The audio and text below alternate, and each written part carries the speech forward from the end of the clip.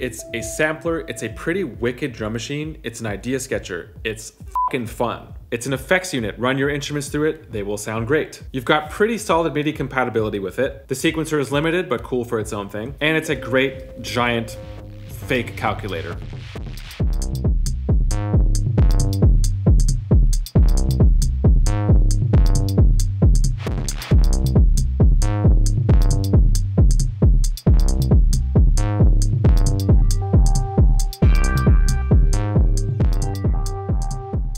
Very first thing that I'll say is that there's a lot of information in this video, so there are timestamps linked in the description. It's all laid out there for you, if you would like to jump to anything specific. In case you've been living underneath a rock for the past about a week, I mean, let's be real, we kind of all live underneath a rock, this, this whole, you know, synth DAWless community. But unless you've been living under a rock underneath the DAWless rock, then you've heard of the EP133. Everyone has already made their first beats. There's already full-on reviews explaining how to use it. Let's figure out whether or not it's even worth it to purchase the EP133, depending on the gear that you may have. And I'll be putting it up against other samplers in my collection, like the SP404 Mark II, because a lot of you requested that. I'm also really familiar with this unit, so I think it's a fair comparison to make. The POKO, obviously this is like the next iteration of a POKO, KO2. While pocket operators will be mentioned throughout this video, I do admit that they are pretty much like in the shadows of the KO2 and a bunch of other samplers in my collection as well. These are the only ones that are out, but I will be bringing up other relevant samplers that I think pertain to this comparison. In terms of the price point of these three, the EP133 sits right in the middle, and I think that each of these are priced appropriately. The question is, where does it win in this comparison? Where does it not win? And is it something that you could see yourself using considering all of the other solid units that are out these days? Also, if you'd like to do a deeper dive into samplers and comparing them all together, I've actually done another video specifically on that. It's a deep dive. It's important for me to mention that I bought this unit, it was not sent to me. So these are all of my opinions. I mean, this is a comparison video. This video is not sponsored by Teenage Engineering in any way. It is, however, sponsored by DistroKid. There are affiliate links in the description of this video.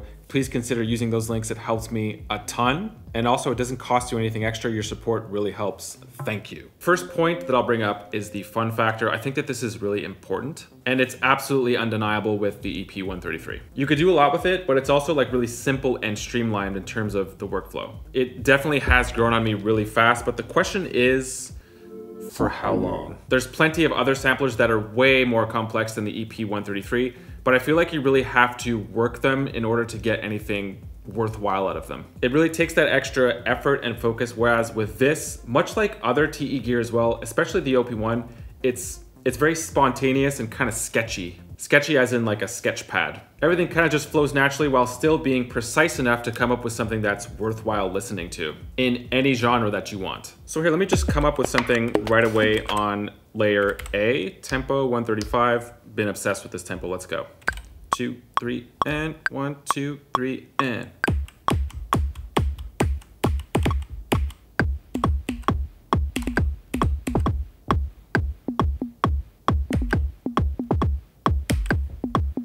So just like that, we have three different voices. I could all obviously turn off the recording, and now I could sort of um, audition other parts.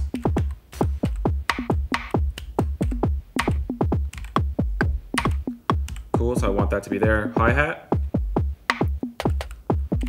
Two, three,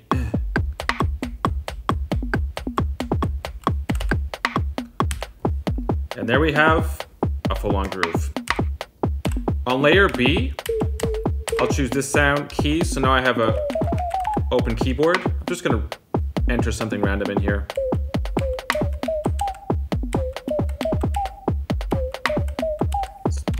Two, three. Eh.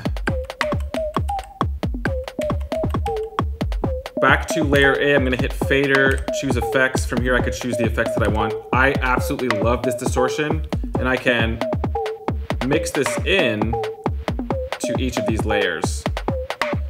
So let's mix it into layer B as well. And from here, I could change the uh, texture of the drive, the distortion. And then within each of these layers, I could actually move them independently. So let's say I don't have anything entered into the next pattern, let's say on A.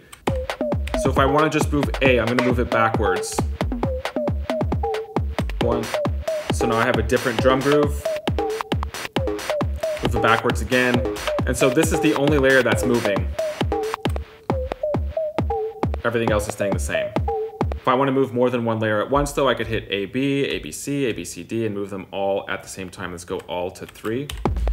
And this is what pattern three sounds like right now.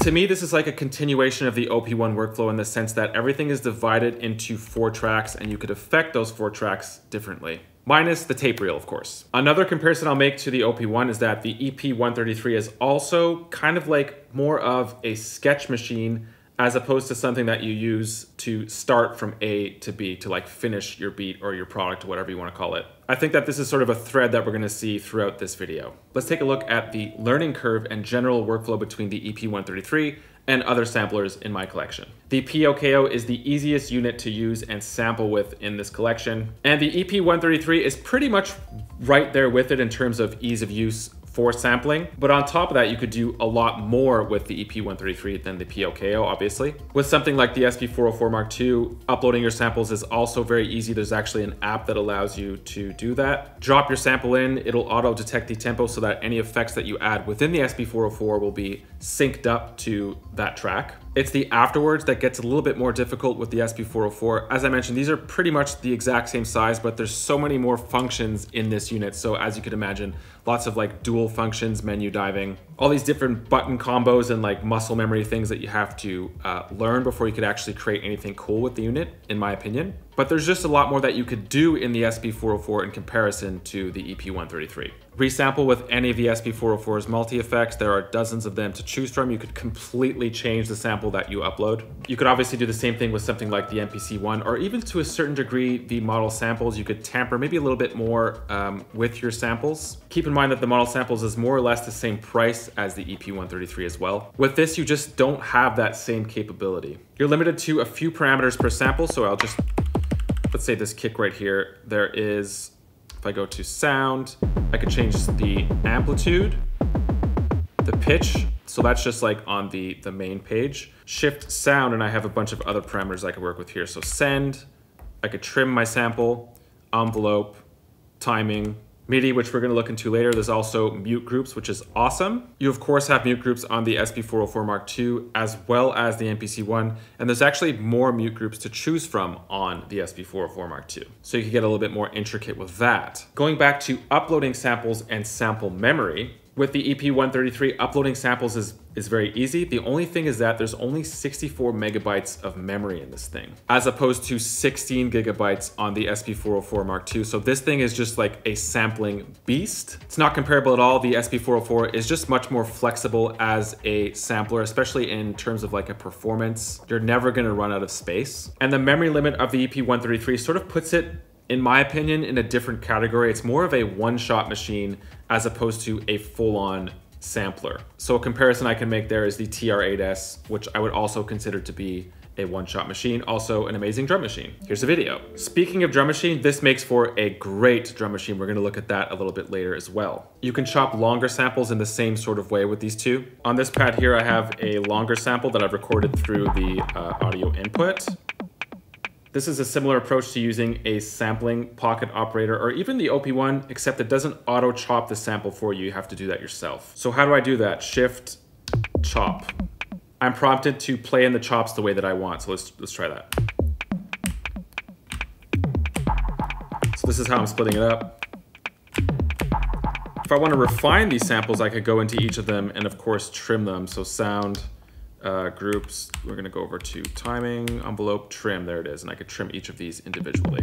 You could do exactly this with the SP404, but they take it a step further. There's actually some other like chopping options that you could choose from. You're not gonna hear this, but let's say I'm using this sample right here, shift chop.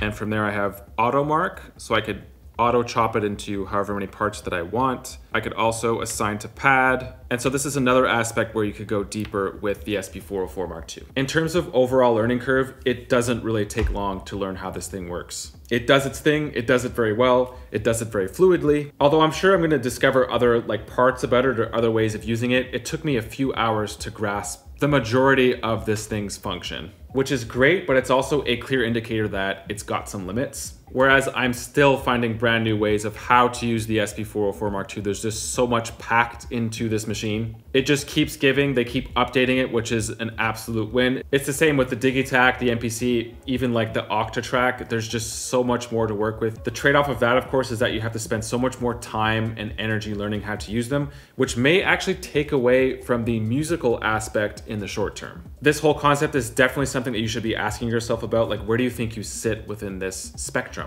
In this sense, if you're familiar with pocket operators, the POKO is to the EP133 what the EP133 is to the SP404 Mark II. Design, feel, and build quality. In my opinion, this is subjective, but I just think that all TE gear wins design like overall in the synth world. They are a design company after all. The amount of hype there is over this thing and over pretty much every single teenage engineering product that's released is in part, I would say mostly due to the design of their products. This thing sold out in no time.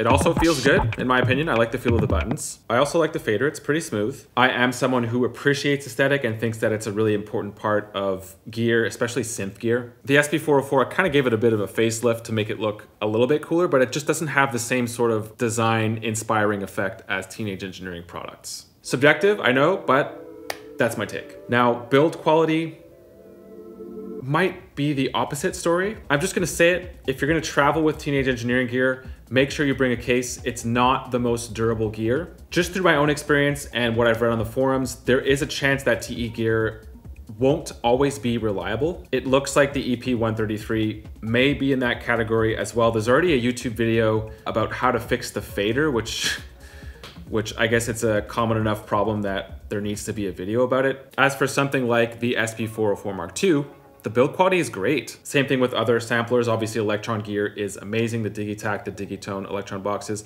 Although the cheaper Elektron units do feel a little bit more plasticky, like the Model Cycles, Model Samples. So that's something else to consider as well. The EP133 doesn't have like a sick sequencer in comparison to the competition. There is tons of pattern space. I think each of these layers has, let's check, yeah, they have 99 slots, uh, each one bar. That's obviously way more than what you need, but there's only 64 megabytes of space, so it's it's a bit contradictory. In the sequencer world, it's becoming almost like a standard to be able to zero in on a specific note and then change any parameter that's available on that note. This is not something that you could do with the EP133, which definitely sets it a little bit behind some of the competition. We already looked at the parameters that we could tweak, but that's on a per track basis and not on a per step basis. In this way, it's really coming from that PO realm. I'll hit main, and from this page, you can see where all of the parts are playing when.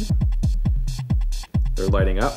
Also, to let you know, there are some convenient copy, paste, uh, undo shortcuts that you could find in the TE EP133 manual. It's on the website. So that is all handy. You could also record quantized or unquantized if you'd like with the EP133. In terms of other samplers or groove boxes, as I mentioned, Elektron still is they're the pioneers, I would say, for sequencing on boxes that could do a lot of other things on top of that. From what I've seen, Roland is not far behind. The SP404 does have some precision in that sense. Another kind of weird workflow, which we sort of touched on at the beginning of the video with the sequencer, everything is layered, so you have to hit all four of these at the same time in order to jump to a different pattern altogether, as opposed to just having like one button that could do that. So with the SP404, there's a pattern sequencer right here and you could just choose jump from one pattern to the next. Same with the MPC, same with the Digitakt, same with the OPZ, same with the pocket operators. So it's just kind of weird that they chose to have this sort of layered thing. And just to add here, there is the possibility of switching scenes. So the way to do that is just hit main and then you could choose the scene that you want. So I'm currently on scene one, let's say. Play that, it's probably gonna be quite random at this point. Yes. And we'll go to scene two. And it's something different. The thing with the whole scene thing is that this brings up a whole new set of limits. While I noticed that there are 99 pattern slots per layer, it doesn't seem like you could have different samples per slot in each pattern. I'll show you what I mean here. So I'm currently on A2, just gonna play that. There's a kick playing right here. So that's the kick, right? I'm gonna go over to A3. It's the same kick. I'm gonna change that kick make sure I'm on the right sound. Sound, I'm gonna change it to whatever, two. So now it's a different, a completely different kick. back to main.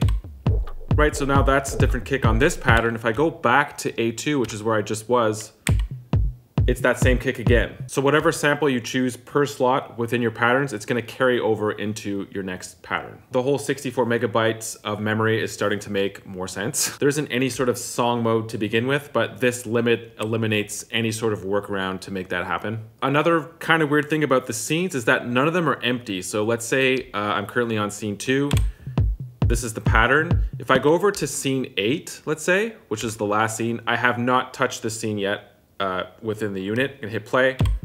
And it's the same pattern. So it like auto copies over to the next scene. It just assumes that you want to copy that current scene over, which definitely caught me off guard. Another similarity with pocket operators is the punch in effect. So if you just play a groove,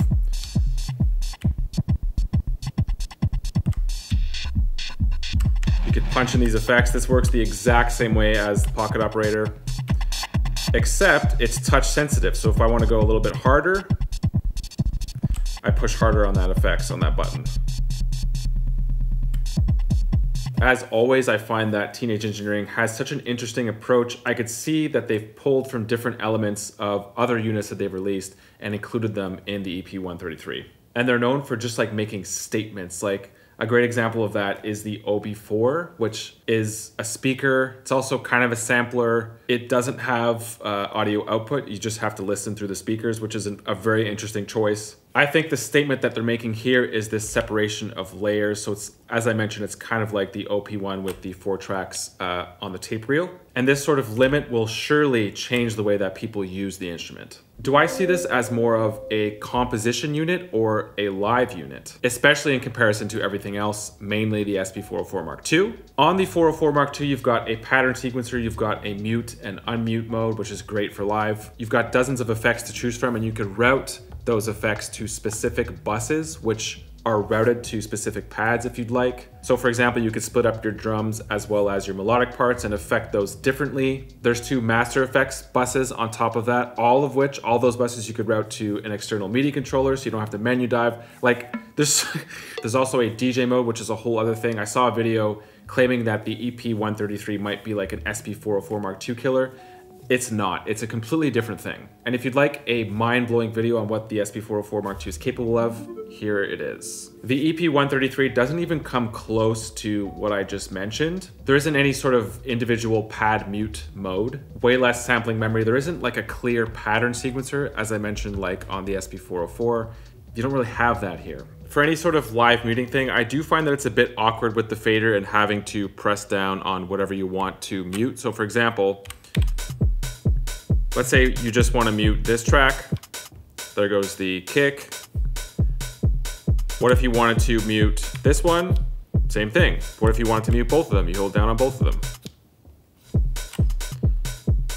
So maybe that's fine, but if you have to mute all four, I just find that it's a little bit awkward as opposed to just having to press buttons. But the EP133 sounds really good as an effects unit. Let's say I have an external groove from something like the Digitakt. Here's what that sounds like. I could control my level right here. Let's keep it moderate. And then on effects, I have distortion. So I'm gonna go back to main. And this is my effects end for external audio. Ooh, sounds great. If I wanna go back to effects, I could still tweak like the, the color of the distortion or the drive.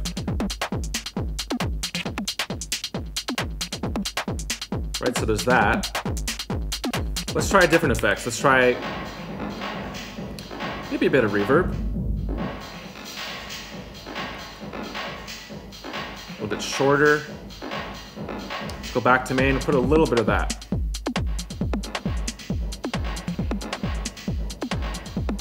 So that's a different color. Let's try, I think chorus is pretty good too. Let's try that chorus. Where is it? There it is. Ooh.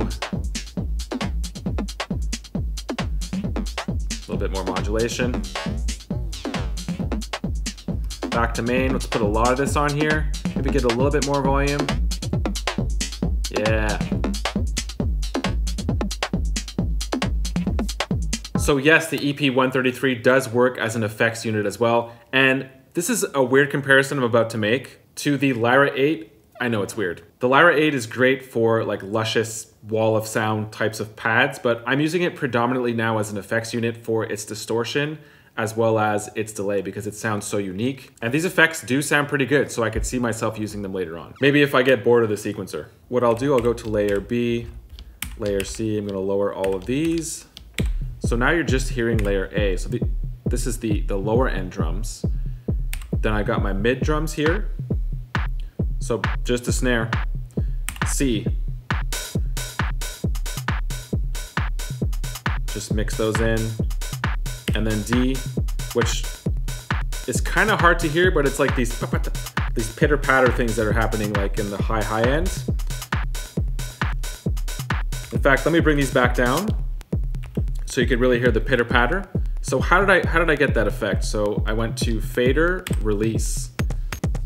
So that's what the, those two samples sound like. But if I really pull down that release, it becomes like this sort of like tip top sort of thing that I really like. Uh, I find that that's a really interesting effects for drums. And of course, to make like a stereo image sort of thing, you could pan these. So shift sound, send. I'm gonna make sure I'm on this sound here. And I'm pretty sure I already have it panned on send. So this one is, let's say far, far uh, left. And this one I'll go on the right. Going back to my effects, I'm gonna go back to distortion because I find it sounds so good on drums. And take note that this is a master effect, so you can't choose different effects for each layer. It affects all of them at the same time, depending on how much you send to them. So let's go to layer one, fader, make sure that it's on effects, and we'll give that low end, damn.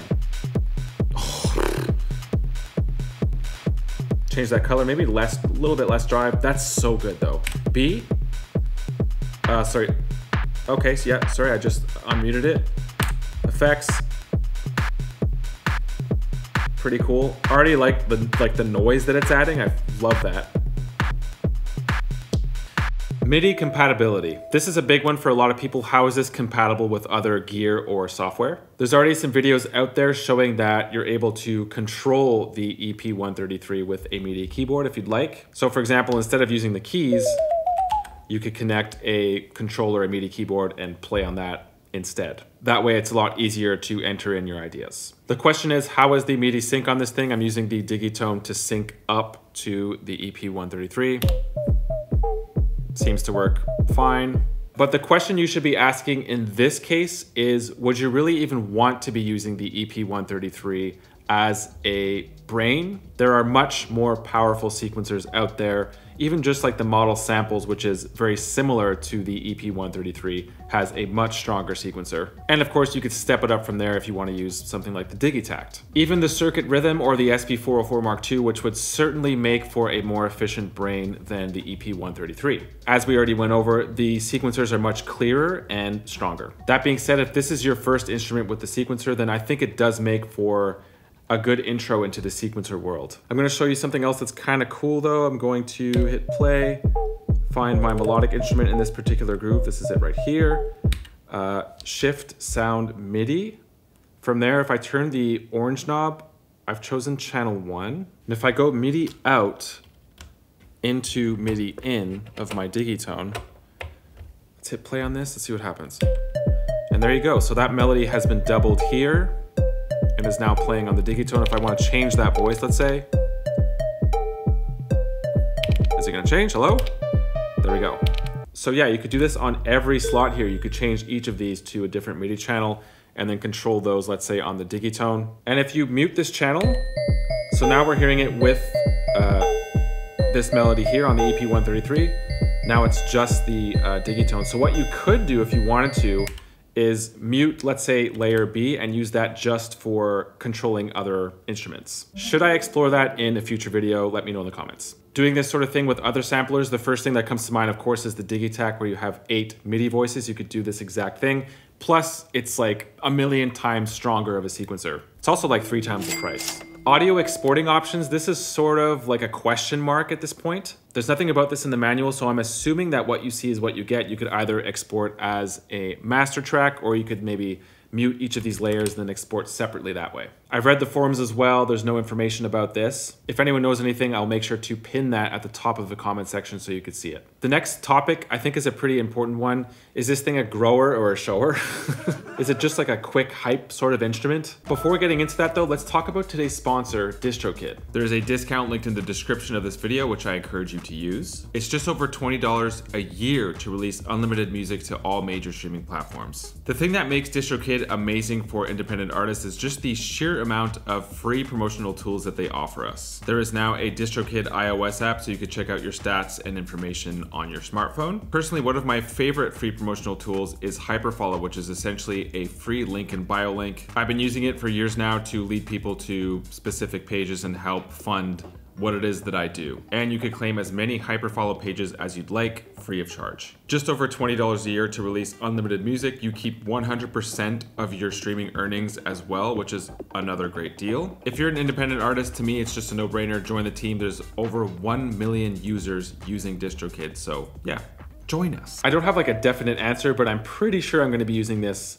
for a while. At this point for me, in terms of electronic music hardware, it either becomes like a composition tool to make samples with, and then if the samples sound good enough, drop those into Ableton Live and perform those in a live setting. Or it becomes a tool in combination with Ableton Live in a live setting. So something that would help me control Ableton or complement it in some way, maybe take some weight off of it. I certainly do not see myself using this in a live setting as a live performance tool, but I'm already loving it as a composition tool, especially for drums, as you heard. The thing for me that's gonna bring variety to this instrument is using different samples with it and not necessarily the workflow itself in terms of teenage engineering gear in general and just like the impact that it's had on this channel, the OP1 and OPZ are what spawned pretty much everything. That being said, I haven't really seen myself gravitating towards teenage engineering gear recently. I've sort of graduated to higher quality things, I would say. Until now, I feel like the EP133